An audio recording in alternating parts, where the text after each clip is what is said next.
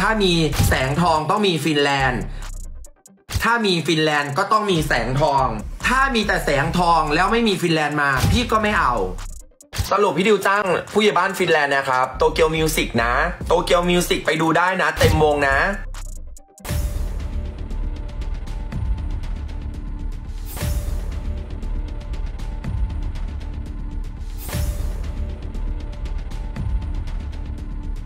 จากประเด็นดราม่าเดือดสะเทือนวงการหมอลำนะคะกับข่าวรักร้าวของบิ๊กผู้ใหญ่บ้านฟินแลนด์ที่ออกมาประกาศนะคะว่าถูกคนรักอย่างแพรวพราวแสงทองเนี่ยนอกใจหนำซ้ำมือที่ 3 ยังเป็นคนในวงอีกซะด้วย จนภายหลังนะคะ หนุ่มวุฒิมือบิ๊กค่ะที่ถูกโยงว่าเป็นมือที่3เนี่ยนะคะ จะได้ออกมาโพสต์ชี้แจงขอโทษ แล้วก็ประกาศลาออกจากวงไปเลย ก่อนที่ต่อมาทางด้านของสาวแพรวพราวแสงทองเนี่ยจะได้มีการออกมาโพสต์ภาพครอบครัวนะคะ ซึ่งก็มีหนุ่มบิ๊กแล้วก็ลูกอยู่ด้วย พร้อมกับแคปชั่นนะคะว่า ตอนนี้ต่างคนต่างใจเย็นลงมากแล้วคุยกันแล้วตอนนี้เราเป็นแม่และพ่อให้ลูก และยังอยู่ด้วยกันเป็นครอบครัวได้เหมือนเดิม แต่ทุกอย่างมันต้องใช้เวลาปรับจูนเข้าหากันขอเวลาให้เราได้ทบทวนอะไรหลาย ๆ อย่างนะคะ ขอบคุณทุกคนที่คอยเป็นห่วงและเป็นกำลังใจที่ดี งานนี้ทำเอาหลายคนก็คิดกันไปเลยนะคะว่าแพรวพราวกับบิ๊กเนี่ยน่าจะคืนดีกันแล้วนะคะ จนกระทั่งต่อมาหนุ่มบิ๊กนะคะจะได้มีการออกมาไลฟ์เคลียร์ชัดๆนะคะว่าเป็นการคืนดีกันในสถานะพ่อและแม่ของลูกเท่านั้นค่ะ เป็นเพื่อนกันนะคะแต่ไม่ได้กลับไปเป็นสามีภรรยากันแต่อย่างใด สถานะยังเป็นพ่อแม่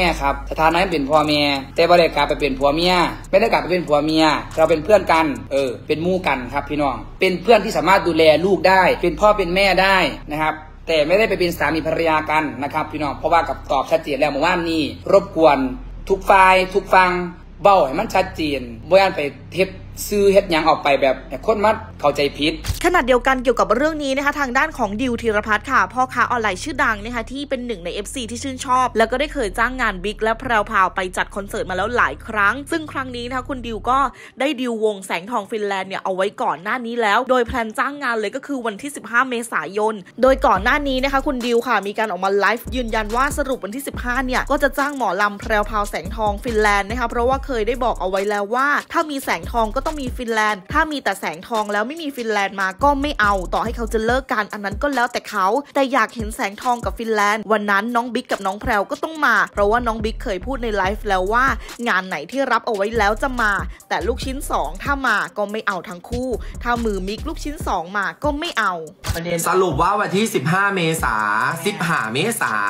พี่ดิวจ้างหมอลำแพรวพราว แสงทองฟินแลนด์ แต่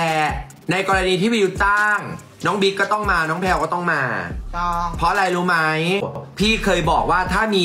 แสงทองต้องมีฟินแลนด์ ถ้ามีฟินแลนด์ก็ต้องมีแสงทอง ถ้ามีแต่แสงทองแล้วไม่มีฟินแลนด์มา พี่ก็ไม่เอา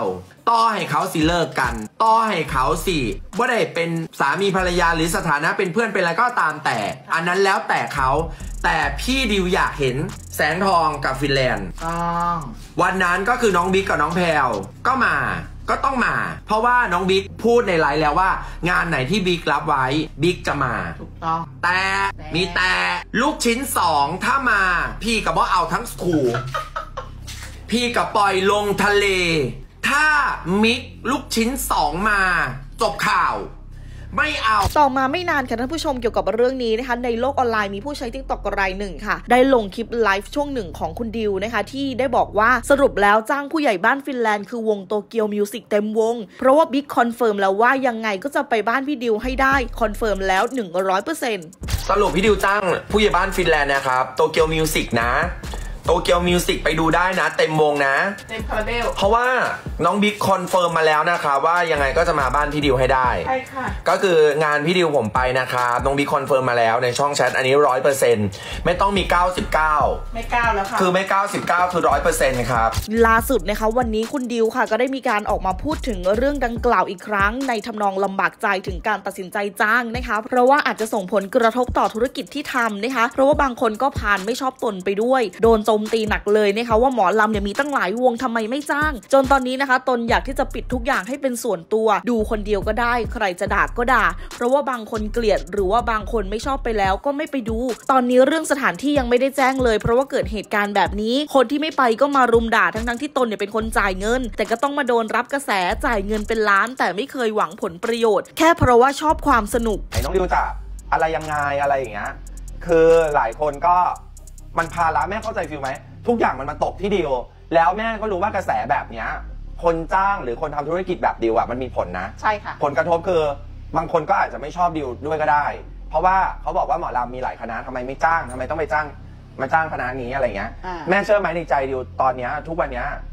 ดิวอยากปิด p r i v a t มากเลยนะ แบบว่าเออดิวดูคนเดียวก็ได้แล้วแบบว่าใครจะด่าก็ด่าอย่างเงี้ยดิวคิดอย่างนี้ ถูกต้อง เพราะว่าเออมันเป็นมุมที่แบบบางคนไม่ชอบเกลียดไปแล้ว ไม่ชอบไปแล้วเขาก็จะแบบว่ากูไม่ไปดูหรอกกูไม่กูไม่ไปดูหรอกอะไรอย่างเงี้ยแล้ว แล้วเราก็มีความรู้สึกว่า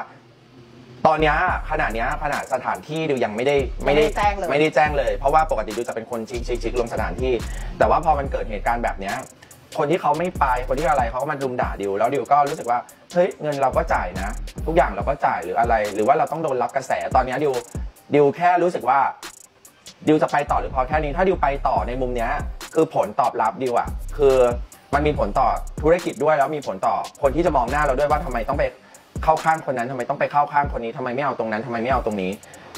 เอ่อดิวก็ไม่คิดว่าเหตุการณ์มันจะเกิดขึ้นแฟนคลับดิวก็ไม่คิดว่าเออเหตุการณ์แบบเนี้ยจะเกิดขึ้น แต่พอมันเกิดขึ้นแล้วอะ